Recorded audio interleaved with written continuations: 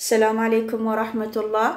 المحافظات التي أعلنت تعطيل الدوام ال- اليوم الأربعاء هي عطلة للمدارس هي محافظة بابل وكربلاء والنجف والأنبار وواسط.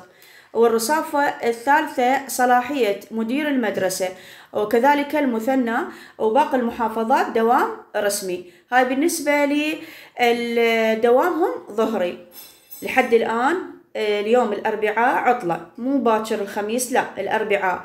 هي محافظة بابل وكربلاء آه، والنجف والأنبار وواسط والمثنى.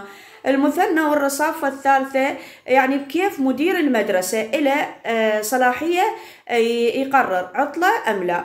وأما باقي المحافظات عندهم دوام رسمي لحد الآن. يعني فقط هذين المحافظات بسبب الأمطار والفيضانات.